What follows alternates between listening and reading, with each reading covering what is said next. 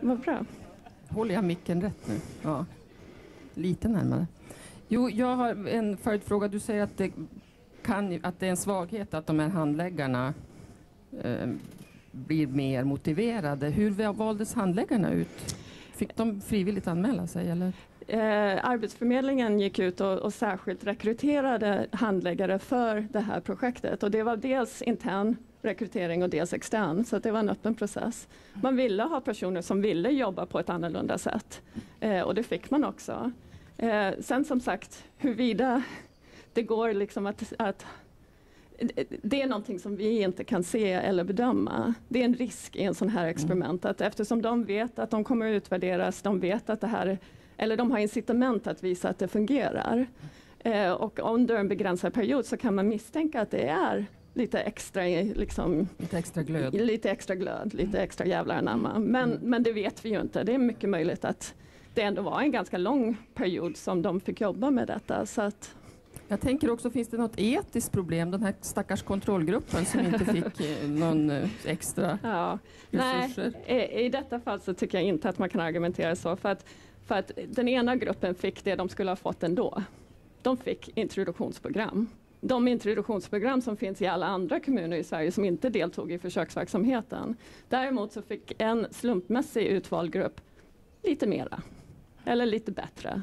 Men jag menar, på sikt, det, det är så jag menar, om, om en grupp hade fått sämre behandling så skulle jag eh, nog tycka att ja. det var ett etiskt problem, men, men inte i detta fallet. Tack så mycket Lena Tack Nekby. Då,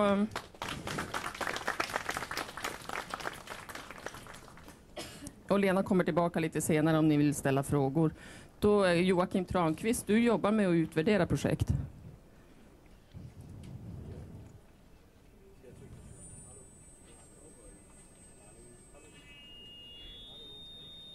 Ska han ta min mick?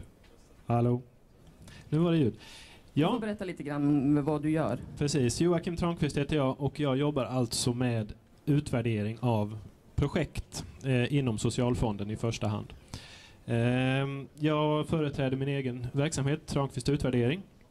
Och jag tänkte inte prata om något specifikt resultat utan mer om generella erfarenheter av att utvärdera arbetsmarknadspolitiska insatser inom ramen för Socialfonden.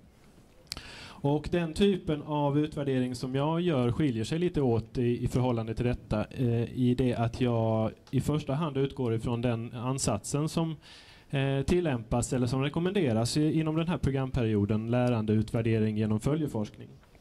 Eh, utgångspunkten till det är att man i tidigare programperioder konstaterade att det, utvärderingarna kom de var för omfattande och kom för sent och då kritiserade man effektutvärderingarna eh, just utifrån det perspektivet. Eh, även om Eh, det många gånger hävdas just det som vi hörde här att, att det är gold standard inom eh, vad gäller eh, utvärdering av resultat. Eh, ja, min utgångspunkt är statsvetenskap. Och eh, det här alternativet med lärandeutvärdering ser, ser jag som en, en variant på en förklarande processutvärdering. Vilket innebär att man i första hand tittar på eh, genomförandet av eh, de, den politik som, som de här projekten representerar. Eh, som utvärderare så innebär stats, eh, som statsvetare innebär utvärdering också att, eh, eh, att det är en form av normativ statskunskap, det vill säga tankar om hur den offentliga politiken bör genomföras och hur, hur den på bästa sätt organiseras. Och eh, i det avseendet så utgår eh, mycket ifrån det som vi kallar för programteori, det vill säga logiken, idén om eh, hur politiken ska omsättas i verklighet. Eh, I det fallet så, så handlar det till, till, stor del om tre faktorer. Eh, problemanalysen, giltigheten eller angelägenheten i den insatsen man ska genomföra. Är det, är det relevant helt enkelt att genomföra i förhållande till den, de, eh, den situation som, som finns? Den andra punkten handlar om genomförandet. Genomförs det på ett korrekt sätt? Organiserar man och strukturerar projektet på ett bra sätt eh, och genomför man den sen på, på ett korrekt sätt? Och den tredje faktorn handlar om långsiktig hållbarhet. Eh, då är vi tillbaka på effekter. Men eh, i det här fallet så lämnar jag över effekterna på individnivå till kollegorna eh, som, som talar här också och, och ägnar mig mer åt att tänka på effekter på organisationsnivå.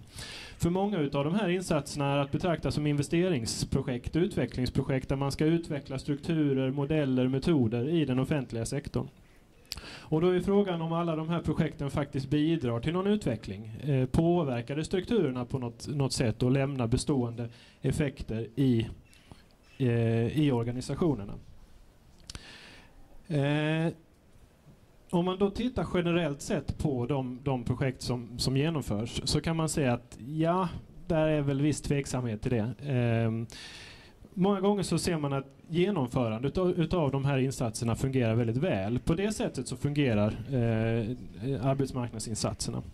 Men många gånger så kan man se att det finns en bristande angelägenhet. Det vill säga man har inte gjort problemformuleringen eh, tillräckligt väl. Man har inte analyserat behovet av insatser på, till, på ett tillräckligt bra sätt. Utan projektinsatser skrivs fram utifrån intresse, eh, synpunkter, tankar, idéer hos personer inom organisationer utan att det för den skull relaterar till de behov som finns just nu hos de aktuella parterna. Eh, man kan också se att det som en förlängning på det att det finns en svag koppling mellan projektorganisationen och den ordinarie verksamheten. Det vill säga de, alla de projekt som genomförs och organiseras relaterar inte och förhålls inte till den ordinarie verksamheten eh, som, som de är tänkta att utveckla. Eh, det gör ju i sin tur att, att utvecklingsprocessen inte går hand i hand med den ordinarie verksamheten. Lika problematiskt är det egentligen att det många gånger finns ett svagt engagemang och koppling till beslutsfattare med, med tillräckligt mandat. Det vill säga personer med budgetansvar, ledningsansvar, både på tjänstemannanivå och på politisk nivå. De här projekten genomförs många gånger som sagt var, i, en sidordnad organisation, i en sidordnad struktur som drivs av personer med ett stort engagemang på ett föredömligt sätt. Men för att det ska bli långsiktig hållbarhet så krävs det att det också knyts in på ledningsnivå i, i de berörda strukturerna. Framför allt så kan man se att politiken saknas. Kopplingen till de, de politiska företrädarna i kommuner eh, i första hand, eh, den saknas, den är för svag. Sammantaget så ger det här bilden av att vi har en stor projektverksamhet kopplad till arbetsmarknadspolitiken där implementeringsbarheten, det vill säga förutsättningarna för den långsiktiga hållbarheten, inte finns, den finns inte på förhand helt enkelt. Eh, så när personer som, som jag, som kommer och ska utvärdera den här långsiktiga hållbarheten, så finner vi helt enkelt att det är två verksamheter. En projektorganisation, en ordinarie verksamhet. Där den investering som görs i de här projekten inte får den utveckling som den är tänkt att generera. Just för att kopplingarna däremellan är för svag. Eh, detta är ju ett annat sätt att se på effekter av eh, den, den, den, arbetsmarknadspolitiska verksamheten. För även om man ser att de här effekterna uppstår på individnivå så är det ofta så att det ger inte den, den överföringen till de, de strukturer som är tänkta att påverkas. Och eh, här är den dubbla målsättningen också för, för socialfonden och strukturfonderna att det faktiskt ska bidra till den här strategiska påverkan. Och eh, där tycker jag att det finns anledning att fundera just på hur man organiserar den här typen av utvecklingsarbete för att effekter på lång sikt ska kunna uppstå. Tack. Eh, jo, har du någon idé? Hur borde det organiseras om du fick bestämma alldeles själv nu en stund? Jag tycker för det första, om, om, man, om man tar de tre punkterna igen, så bör projektinsatser i allt högre utsträckning utgå från faktiska behov i de ordinarie strukturerna. Eh, att det inifrån myndigheter och kommuner eh, på ett tydligare sätt, att man förankrar projektinsatser kopplat till en övergripande strategisk utveckling i organisationerna.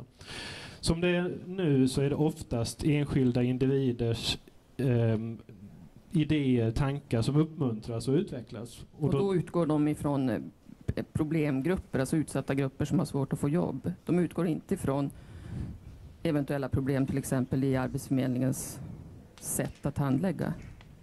Precis. Det är ett bra sätt att se det.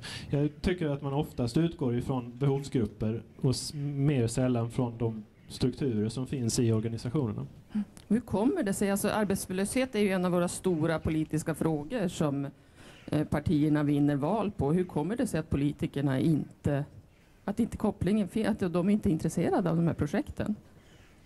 Har du, ja, det kan ju inte du veta kanske. du kan gissa. Eh, gissa kan jag göra, veta har jag lite, lite svårare för. Eh, jag tror att det handlar om, eh, om, eh, om, om logik, projektlogik kontra ordinarie logik.